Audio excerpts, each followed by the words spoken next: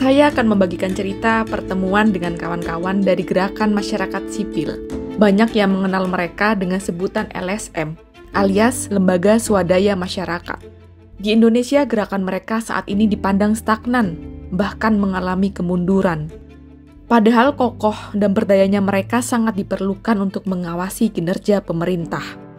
Persoalan dana telah menyebabkan melemahnya organisasi masyarakat sipil di Indonesia, termasuk LSM-LSM itu. Kondisinya berbanding terbalik dengan elemen demokrasi lain, seperti partai politik, DPR, dan berbagai lembaga pemerintah. Untuk mencari tahu ceritanya secara langsung, saya mengunjungi kantor Invit, salah satu LSM di Indonesia yang sudah ada sejak tahun 1985.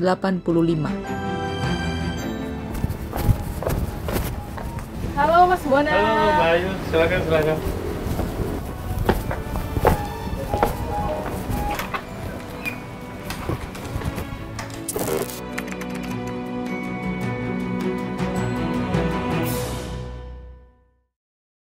Kalau Invit sendiri itu uh, lebih fokusnya soal apa Pak? Iya, jadi Invit ini berdiri tahun 1985. Jadi kita pada waktu itu berkomitmen atau dimintakan lah ya uh, oleh IGGI, Consultative Group of Indonesia juga pada waktu itu memberikan hibah dana pinjaman. Jadi mereka ingin mendengarkan ya perspektif masyarakat sipil terkait penggunaan dana pinjaman kepada Indonesia. Sampai saat ini kami memiliki fokus pada tiga program. Program SDGs tujuan pembangunan berkelanjutan, kemudian program HAM demokrasi, dan terakhir program uh, ketimpangan. Saya ingin tahu uh, bagaimana skema pendanaan uh, yang dia lakukan oleh LSM saat ini? Jadi sumber-sumber pendanaan itu ada beberapa. Dari hasil riset itu 60% itu sumber pendanaannya untuk uh, operasional program advokasi itu uh, berasal dari uh, luar negeri ya, dari donor atau mitra internasional dan hampir 90% pada advokasi isu-isu tertentu itu berasal dari uh, internasional. Artinya uh, kita ketergantungan kepada luar itu tinggi sehingga Eh, isu-isu yang dikerjakan LSM itu tidak bisa mandiri. Uh, ada sebuah riset, uh, riset ini menunjukkan bahwa sebagian besar LSM itu sering kali mendapatkan pemasukan dari lembaga donor internasional. Nah dari sisi minusnya mungkin yang paling sering dijadikan apa ya uh, uh, stigma adalah bahwa LSM itu kemudian karena dia mendapatkan dana dari luar negeri, dari asing, maka dia dinyatakan sebagai antek asing gitu ya. Nah minus yang mungkin saya uh, perlu garis bawahi sebenarnya yang tadi yang saya sampaikan bahwa LSM itu tidak bisa lentur begitu ya. Jadi semua uh, apa kegiatan programnya itu berdasarkan uh, tuntutan dari uh, donor yaitu drive, donor driven gitu ya. Pada akhirnya kan uh, persoalan pendanaan ini jadi salah satu faktor beberapa koalisi mendorong adanya skema dana abadi. Nah, hmm. uh, apa itu skema dana abadi Mas Muna? Ya, saya rasa skema dana abadi itu uh, khususnya bagi Indonesia itu bukan hal yang uh, baru ya. Kita pernah mendengar LPDP ya, dana abadi pendidikan, kemudian terakhir ada Badan Pengelola Dana Lingkungan Hidup, dana abadi lingkungan hidup. Praktek-praktek ini adalah praktek-praktek di mana kemudian negara itu memberikan sebagian alokasinya dana untuk diinvestasikan perlu digarisbawahi bahwa eh, LSM sudah memiliki kontribusi panjang eh, kepada Indonesia ya dan sekaligus dana abadi ini merekognisi ya. Nah, tetapi uh, sekali lagi saya ingin sampaikan bahwa ini tidak cuma-cuma ya, bukan hibah seperti hibah bansos kepada ormas begitu. Ini uh, ada hal-hal yang melatar belakangi pertama mendukung uh, rencana pembangunan misalnya atau yang kedua misalnya LSM kemudian mengajukan permintaan bahwa ada satu isu yang memang harus segera dituntaskan misalnya. Sebenarnya Indonesia itu justru malah memiliki dana pembangunan demokrasi ke luar negeri, yaitu Indonesian Aid atau LDKPI. Indonesia sudah menggelontorkan dana bagi LSM asing negara asing, dan bahkan pada bulan lalu Menteri Keuangan baru menyuntik 8 triliun. Sementara dana pembangunan untuk demokrasi ke dalam negeri dalam bentuk dana abadi untuk LSM Indonesia justru belum ada begitu. Suatu hal yang sangat bertolak belakang sekali dari inisiatif pemerintah. Jika skema dana abadi ini ada di Indonesia, bagaimana menjawab kekhawatiran soal misalnya apakah nanti uh, dana abadi ini uh, dimanfaatkan oleh pihak-pihak yang mengatasnamakan masyarakat uh, organisasi masyarakat sipil? Yang saya khawatirkan itu sebenarnya adalah uh, ini pertama menjamurnya LSM gitu ya karena dana abadi kemudian LSM itu semakin banyak ingin berupaya untuk mengambil atau mengakses dana ini. Yang kedua sebenarnya juga yang saya khawatirkan adalah uh, hak uh, eh, LSM apa dana abadi ini akan dinikmati oleh free rider ya. Free rider dalam arti LSM LSM yang mapan. Mapan dalam arti mereka itu dekat misalnya dengan organisasi-organisasi yang saya rasa uh, kuat baik dari sisi profesionalitas maupun dari sisi administrasi dan yang terpenting dari sisi politik begitu ya. Misalnya ya kelompok-kelompok LSM yang terafiliasi misalnya dengan uh, apa think tank ya kemudian berafiliasi dengan uh, uh, birokrat atau dengan ya dengan birokrat dan LSM plat merah atau misalnya LSM yang uh, terafiliasi dengan uh, partai politik. Saya rasa itu hal yang apa menjadi tantangan nanti bisa uh, berbicara atau bertukar pikiran dengan beberapa tokoh dari LSM ada Ibu Zumrotin beliau dulu pendiri Invit ada Pak Asyikam akademisi dan juga mantan menteri saya rasa. Kemudian ada Pak Ari Sujito akademisi dari UGM yang juga sekarang menjadi wakil rektor Oke. Saya berbincang dengan Ibu Zumrotin, seorang tokoh gerakan masyarakat sipil dan aktivis senior yang memiliki kiprah panjang 40 tahun lebih menggeluti LSM. Bersama Ibu Zumrotin, kami membahas sejauh mana advokasi dana abadi ini sudah dilakukan. LSM ini kan sudah berkembang ya Bu ya dari dekade-dekade sebelumnya. Kalau misal kita berbicara uh, saat ini Bu, uh, apa tantangan LSM saat ini Bu? Pada dasarnya LSM masa lalu ataupun masa sekarang ada beberapa yang harus tidak harus bisa berubah, yaitu masalah visi harus semua LSM harus punya visi. Demikian juga para aktivisnya harus juga punya visi dan misi itu harus ada. Yang lainnya perbedaan yang lainnya adalah uh, situasinya berbeda. Tidak banyak membiayai untuk untuk LSM LSM di Indonesia. Nah ini yang menjadi tantangan LSM kita mencari dananya susah saat ini. Uh, sementara LSM-nya berkembang begitu banyak. Uh, tantangan soal pendanaan ini kan pada akhirnya jadi salah satu faktor beberapa koalisi LSM uh, eh, mendorong adanya skema dana abadi LSM ya Bu ya. Dan Bu Zoom sendiri merupakan uh, salah satu perwakilan Pokja pendanaan LSM. Nah, sejauh ini apa yang sudah dilakukan oleh Pokja dalam advokasi skema dana abadi ini Bu? Uh, sebetulnya saya melihat bahwa Bapenas setidaknya sudah mulai melihat bahwa kondi, uh, pemerintah itu harus memberikan dana setidaknya. Itu ide gagasannya ada, awalnya adalah dari Bapenas.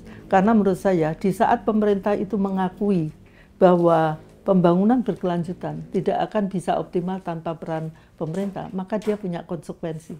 Dia harus mendanai program-program yang dilakukan oleh pemerintah.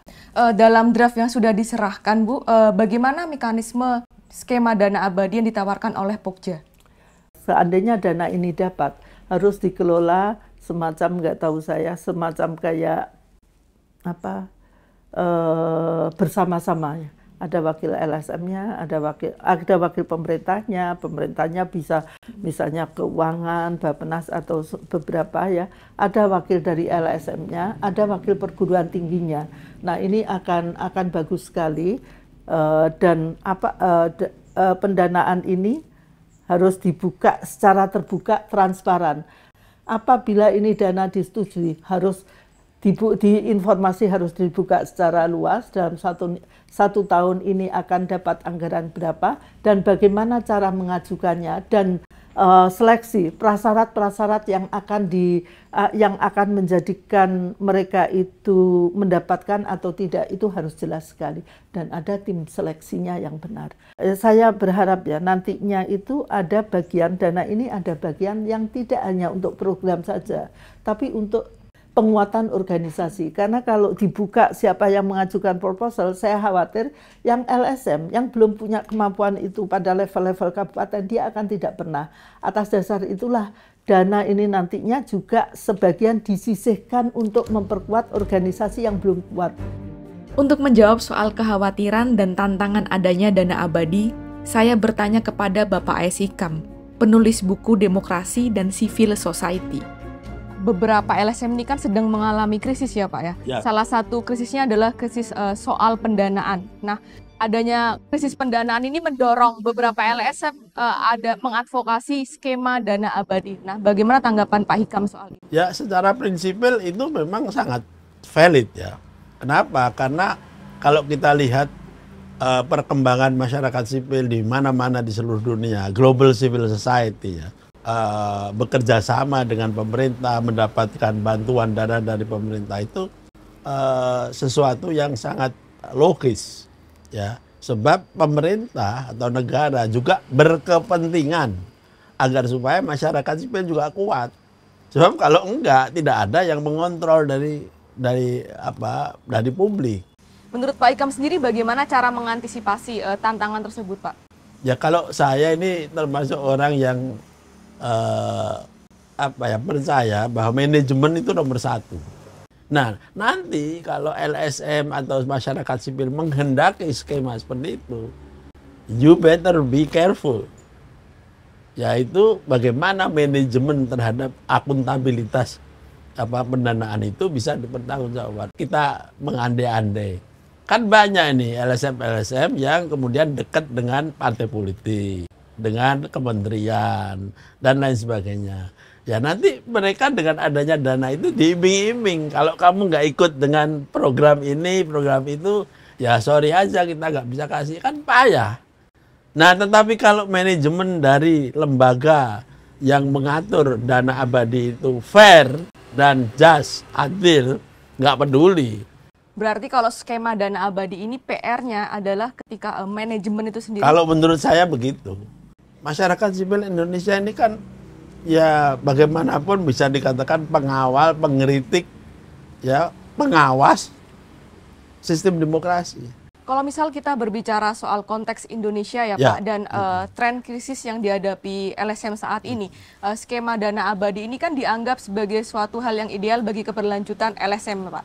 Nah, eh, bagaimana jika tidak ada skema ini, Pak?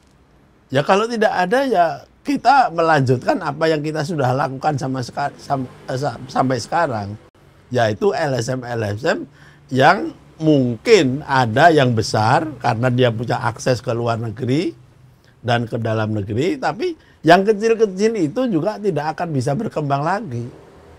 Padahal kalau menurut data apa namanya riset dari eh, Infit misalnya, itu kan di atas 45% atau berapa bahwa LSM kita ini masih tergantung kepada dana dari luar. Kita punya LSM yang banyak, yang vibrant, berkembang, tetapi dari soal pendanaan, semua mengeluh bahwa mereka mengalami kekurangan dan ketergantungan terhadap pendanaan dari luar. Sementara aturan main menunjukkan bahwa sumber dana dari luar itu bukan saja semakin sedikit, tapi juga masuknya juga terbatas. Mendingan kita itu juga membuka kemungkinan dari dalam, tetapi nanti di manage dengan baik. Tidak hanya dengan Bapak Hikam, saya juga berdiskusi dengan Bapak Aris Sujito, seorang akademisi Universitas Gajah Mada. Fun fact, Pak Ari ini dulunya adalah dosen pembimbing saya sewaktu masih kuliah. Kalau misalkan kita berbicara hari-hari ini, bagaimana kepercayaan publik terhadap LSM, Pak? LSM saya kira cukup banyak membantu itu di berbagai bidang. Isu eh, desentralisasi, isu penguat strengthening participation, terus empowering civil society, terus kemudian isu-isu tentang reformasi hukum, isu anti-corruption, ya termasuk di beberapa aspek penguatan lembaga-lembaga extra state yang mulai tumbuh pada saat itu. Sehingga kiprahnya menurut saya dalam dua dekade misalnya ini sangat terasa sekali. Saya kira salah satu aktor penting di dalam mewujudkan demokratisasi pasca otoritarisme adalah LSM. Akhir-akhir ini LSM sedang mengalami tren krisis, terutama soal pendanaan. Sebetulnya bagaimana mekanisme dana bantuan pembangunan internasional kepada LSM selama dua dekade terakhir ini, Pak? Ya kalau kita lihat misalnya dalam perjalanan Indonesia post otoritarisme itu kan menjadi banyak perhatian negara-negara maju ya pengalaman beberapa negara dari Afrika Selatan, terus kemudian beberapa negara yang mencoba mendorong transformasi pasca otoriterisme. Ini juga diperagakan di di Indonesia dan memang waktu itu itu sebagian besar bantuan itu dari lembaga-lembaga donor untuk mendorong mereka bisa hidup itu. Nah pada paruh kedua ada upaya nggak mungkin ini terus-menerus nanti tergantung karena itu harus ada mekanisme agar penguatan kelembagaan, organisasi dan jaringan dan seterusnya itu dilakukan agar LSM ini mempersiapkan diri waktu itu. Tapi itu memang tidak mudah ya, dan karena sebagian besar hubungan antara LSM dan negara itu awal-awal itu dirancang untuk bisa jadi partnership gitu. Nah, akibatnya ada memang survive ya, tapi ada juga yang harus mengalami decline. Nah, karena memang ada yang memang berupaya untuk menata agar LSM ini tidak terus-menerus tergantung lembaga, lembaga donor. Sehingga memang negara itu memberi uh, jaminan kalau civil society ini perannya sangat besar gitu. Nah kalau ini dia dibiarkan, nggak dirawat dan transformasi peran demokratik yang dilakukan LSM ini lebih pada partnership ini nggak ditangkap gitu, terlalu sayang gitu. Kalau misal kita berbicara soal tren krisis pendanaan ya Pak, adanya uh, krisis pendanaan ini kan pada akhirnya mendorong beberapa koalisi LSM mengadvokasi skema dana abadi. Eh, menurut menurut Pak Ari sendiri dari kacamata seorang akademisi bagaimana catatan soal skema dana abadi ini? Kalau kita bicara tentang masa depan LSM pendanaan ini diperlukan dan penyelamatan ini sebetulnya juga akan ber, akan bermanfaat baik pada negara karena negara akan banyak diuntungkan karena eh, akan membantu memecahkan masalah yang harusnya menjadi tanggung jawab dari negara, tapi LSM itu berperan di sana. Sekali lagi, LSM bukan mengganti bukan peran negara, bukan, tetapi mengatasi hal-hal yang tidak bisa dikerjakan oleh negara, sekaligus agar memastikan kualitas governance, kualitas demokrasi ini akan makin baik. Apalagi kita tahu bahwa APBN kita ini sebagian besar juga tersedot untuk pembiayaan-pembiayaan institusi-institusi politik, institusi birokrasi, kemudian bahkan lembaga-lembaga ekonomi, perbankan, dan seterusnya. Sementara LSM nggak banyak itu diberi perhatian. Tentu dalam skema dana abadi ini ada beberapa tantangan yang harus dihadapi oleh LSM. Salah satunya dalam hal konteks pengelolaan. Jauh ini kan ada dua pendekatan yang berbeda antara LSM dengan pemerintah, terutama dalam hal konteks pembangunan. Terkadang metode dan pengukuran di pemerintah itu cenderung teknokrat, kurang kompatibel dengan LSM. Nah, menurut Pak Ari sendiri bagaimana cara mengantisipasi hal ini? Kalau kita bicara soal citizenship, bicara soal atau kewarganegaraan, bicara soal demokrasi, maka perubahan cara pandang birokrasi untuk memahami tentang negara itu juga harus mau tidak mau dilakukan. Teknokrasi itu bagus, penting gitu dalam prasyarat untuk menjalankan pembangunan, tetapi dia tidak cukup, dia harus diikuti juga partisipasi karena ada demokrasi. Mengapa partisipasi penting dalam kacamata ini untuk mengatasi atau melengkapi teknokrasi? Karena teknokratisasi berlebihan itu membuat pembangunan itu terasa terlalu administratif. Dan sebaliknya, partisipasi juga tanpa ditopang teknokrasi kadang-kadang meleset beberapa aspek dan tujuan dalam hal pengukuran. Dialog perspektif ini nggak sulit karena kita sudah membiasakan kan bahwa uh, saudara-saudara kita, teman-teman kita di LSM ini juga sudah biasa berdiskusi. Cuman kalau ini kita buat pelembagaan model di mana teknokratisasi ini diimbangi oleh partisipasi dan bahkan polisi-polisi sifatnya politis, ini akan lebih memungkinkan capaian, indikator, terus kemudian strategi, ini akan beririsan satu sama lain. Memasukkan dimensi kontrol publik itu adalah bagian terpenting juga dalam pengelolaan sumber daya yang disebut dengan pendanaan LSM itu. LSM ini kan punya peran signifikan bagi publik. Nah, di tengah tren krisis ini, jika butuh dukungan oleh publik, eh, apa yang bisa publik lakukan? yang harus dilakukan sekarang adalah kampanye untuk meyakinkan bahwa negara harus mampu menggerakkan potensi masyarakat sipil bukan vis-a-vis pada negara, tapi potensi masyarakat sipil ini harus dimanfaatkan karena transformasi demokrasi sangat satunya ditentukan oleh peran LSM. Saya yakin tantangan kita memang ada masih fragmented di kalangan LSM, kapasitas yang beragam, itu harus dipecahkan. Kuncinya adalah komitmen politik ya komitmen politik dari negara dan itu harus ditopang oleh daya dukung ya publik bahwa membiayai LSM itu banyak hal yang dijadikan sebagai investasi bangsa ini untuk memperkuat upaya transformasi demokratik ke depan yang pasti kita akan menjadi negara yang gede gitu dengan pelibatan masyarakat sipil, membangun keluarga negara. Di antaranya komitmen menunjukkan itu. Saya yakin itu bisa. Dan ini yang saya ingin tekankan, komponen-komponen di level pemerintah itu juga punya perhatian ke sana gitu. Tinggal kita dorong aja di publik dan sekaligus ini juga bagian dari wujud terobosan. Apalagi di era akhir pemerintahan Jokowi ini mestinya ini harus menjadi bagian dari legasi penting gitu. Karena bagaimana juga misalnya Jokowi ini kan lahir dari uh, pembentukan dari masyarakat sipil selain oleh partai politik ya, tapi representasi secara simbolik dia adalah uh, komponen relawan atau masyarakat sipil ini juga harus dibaca sebagai bagian dari impact partisipasi dan itu di antara dilakukan oleh teman-teman LSM yang mendorong partisipasinya akan lebih baik. Di era sebelumnya, stigma yang melekat ke LSM itu bersifat konfrontatif.